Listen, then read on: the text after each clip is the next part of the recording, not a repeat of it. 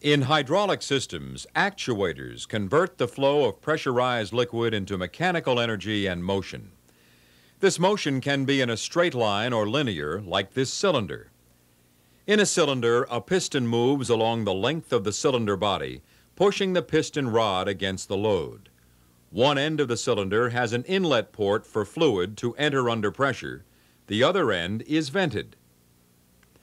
The motion can also be circular or rotary, like this motor. In a motor, the shaft is attached to a rotating group, which turns as pressurized fluid enters one side of the motor housing and exits the other side. The rotating group is positioned off-center in the motor housing. This offset exposes more area of the top vane to system pressure than the lower vane. As a result, the force on the vanes is unbalanced and the shaft turns. The basic operating principles of all actuators are the same, whether they operate with a linear motion or with a rotary motion. In this lesson, we'll examine these basic principles and see how they apply to the operation of all actuators. Let's begin with linear or straight line actuators. The most common type of linear actuator is the cylinder. We learned in an earlier lesson that when fluid pressure is applied to the piston face, it generates a mechanical force which moves the piston rod and the load in a straight line. How much pressure is required to generate the force needed to move a specific load can be calculated using Pascal's law which states that the pressure is equal to the force divided by the area against which the pressure is applied. This is written as P equals F divided by A. Now there's an easy way to remember this formula. In this triangle, if we cover up what we are looking for, we can see the relationship with the other two. For example, if we are looking for pressure, we cover pressure, and we see that it equals force divided by area. If we are looking for what area will transmit a certain force at a certain pressure, we cover area and see that we have to divide the force by pressure. If we are looking for force, then it's pressure times area. Remember that force is at the top of the triangle. In a cylinder, the area we apply the pressure to is the face of the piston. Frequently, though, we don't know the area of the piston face. Usually what we have is the piston's diameter, or the bore of the cylinder as it's called. That's the distance from side to side through the center of the bore. Finding the area is easy. As you can see by the illustration, the area of any circle is just slightly more than three quarters the size of a square with sides the same length as the diameter of the circle. Actually, the circle encloses 0.7854 of the area of the square. To find the area of a square, we multiply the length of one side by the length of another. So, to find the area of a circle or a piston, we use the formula circle area equals diameter times diameter times 0.7854, or d squared times 0.7854. The 0.7854 in this formula is called a constant. For example, suppose we have a 6,284 pound load that has to be moved by a cylinder with a 2 inch bore.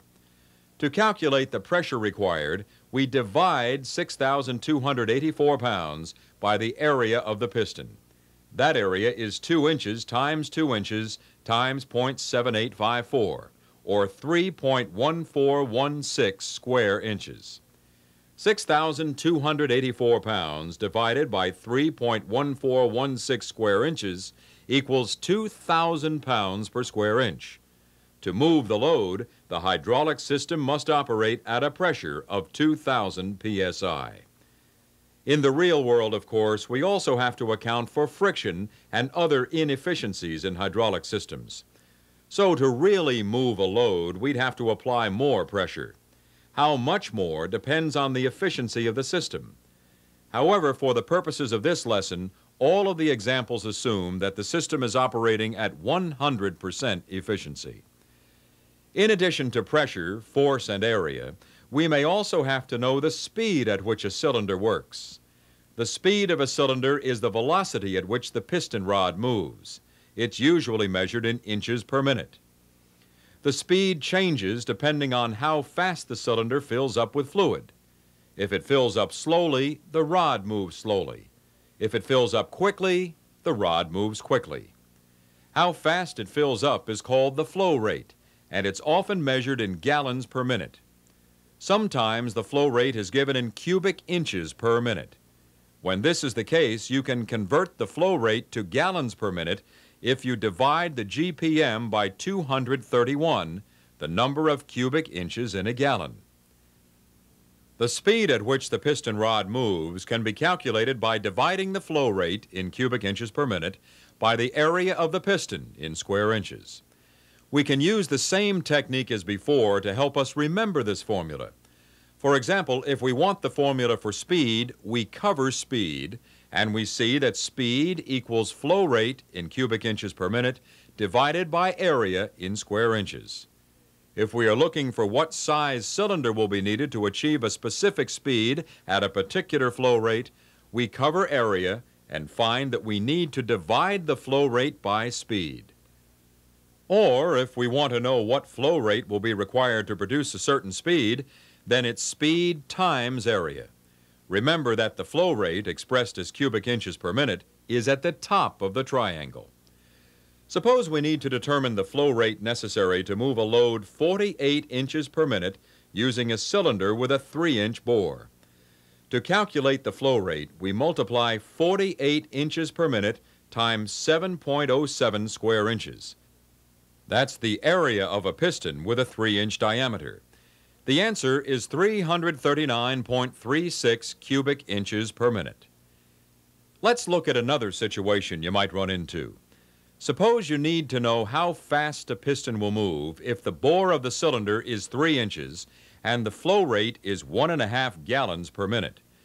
Using the triangle, we see that to determine speed, we must divide the flow rate by the area of the piston. If the flow rate is given as 1.5 gallons per minute, we need to convert that to cubic inches per minute by multiplying it by 231, the number of cubic inches in one gallon. So we have 1.5 times 231 cubic inches, which equals 346.5 cubic inches. The area of the piston is the same, 3 inches squared times 0.7854, or 7.07 square inches.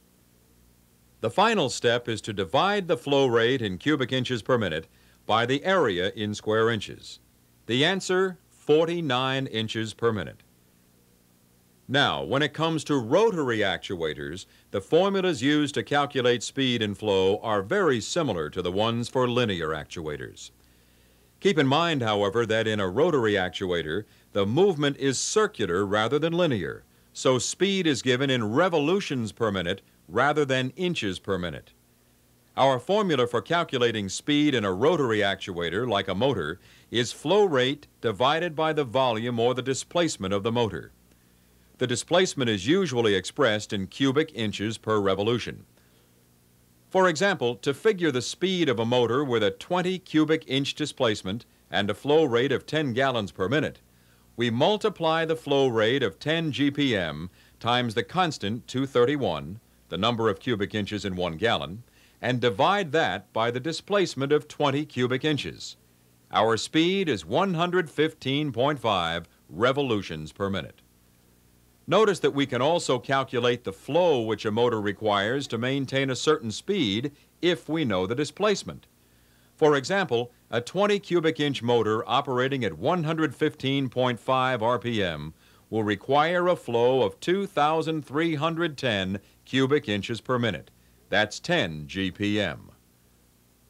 Force in a rotary actuator is a little different than force in a linear actuator. In fact, the word force is not even used. Instead, we say torque, which means rotary force. How much torque is created depends on how far the force is applied from the shaft of the actuator. If a force of 50 pounds is applied 10 inches from a pivot point, 500 inch-pounds of torque will be generated. If the force remains 50 pounds but is applied 5 inches farther out from the pivot point at 15 inches, then 750 inch-pounds of torque will be generated at the pivot point.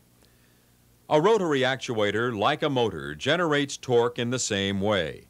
If the displacement of the motor in a system is increased, the torque it can generate from any given pressure will also increase.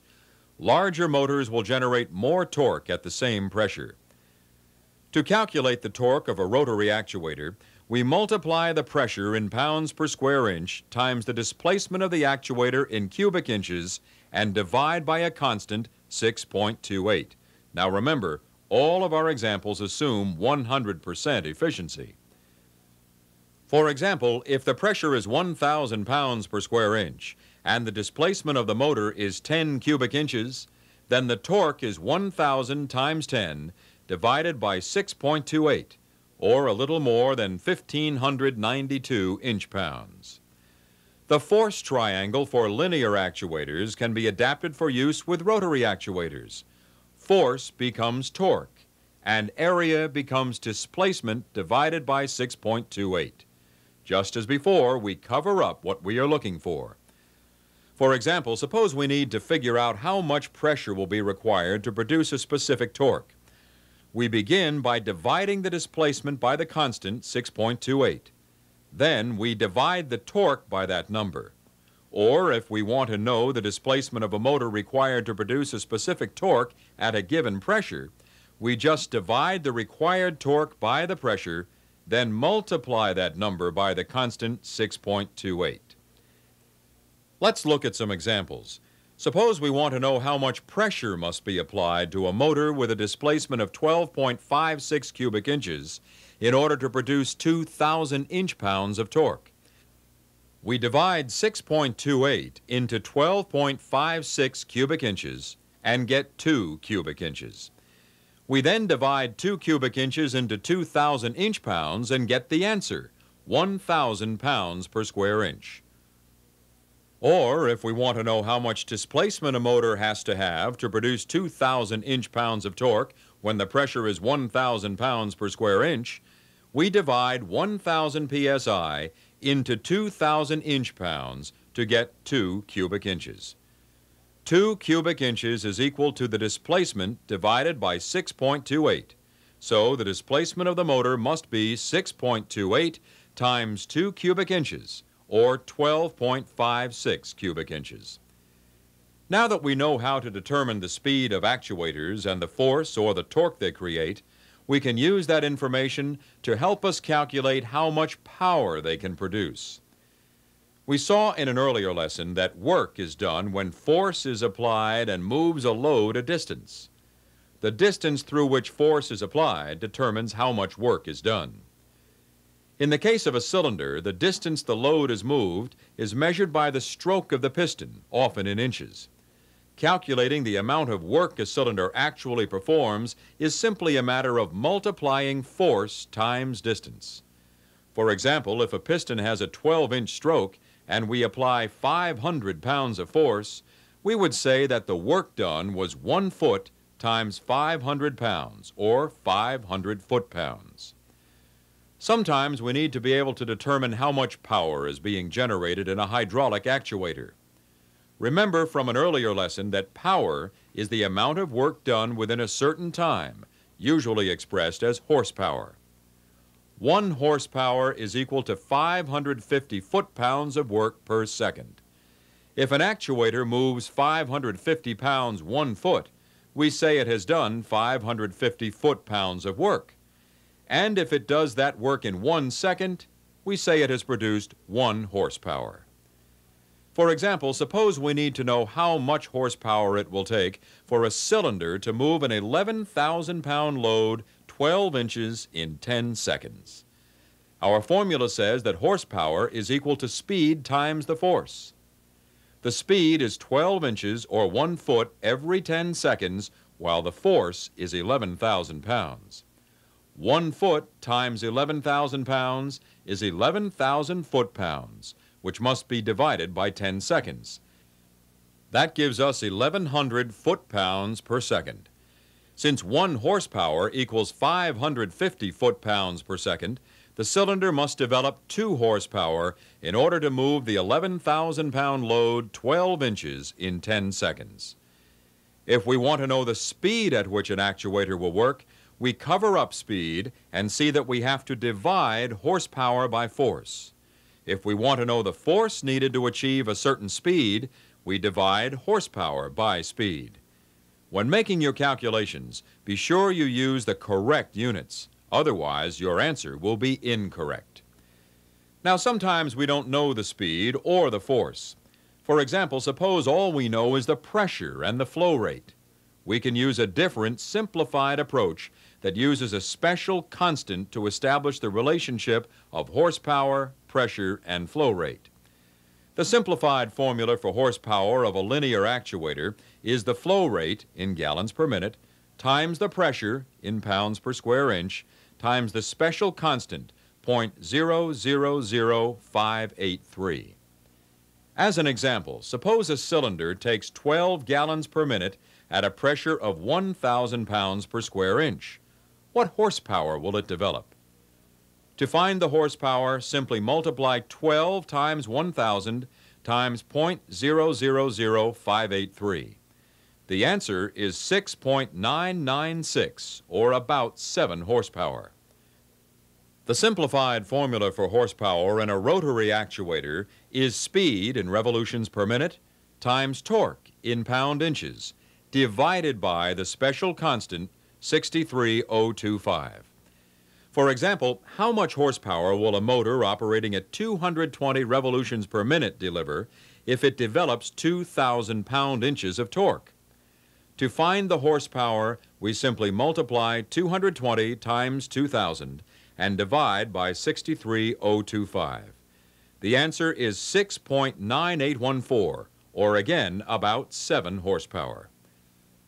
Notice that in order for the formulas to work correctly, you must make sure the proper units of measurement are used.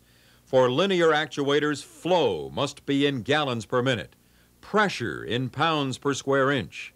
And for rotary actuators, speed must be in revolutions per minute, and the torque must be in pound inches.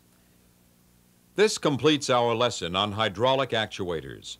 In the next lesson, we will look at how we control the energy in a hydraulic system.